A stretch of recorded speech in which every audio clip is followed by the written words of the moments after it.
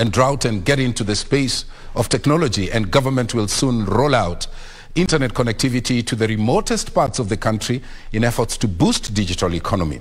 ICT and Digital Economy Cabinet Secretary Eliud Owalo says that the move will empower youth in such areas so as to leverage the digital income opportunities and also help in tackling youth unemployment. Wycliffe Okech puts that story into perspective.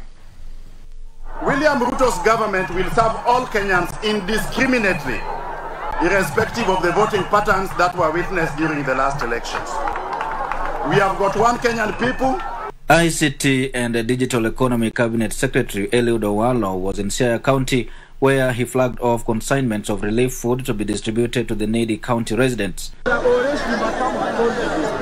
This is in addition to other consignments flagged off yesterday to those in dire need of the relief food in the wider Luo Nyanza region. It was during the event that Owalo revealed plans to roll out internet connectivity to the remotest parts of the country as a way to empower the youth. This week, I launched a free Wi-Fi facility at the city market in Nairobi. We are going to bring free Wi-Fi for the youth up to each and every village in this region. Owalo said the digital economy bears a great potential to solve the youth unemployment menace if well harnessed. The days of formal employment, white collar jobs are gone. If we leverage on ICT, our youth will be able to benefit from digital jobs by way of creativity and innovation.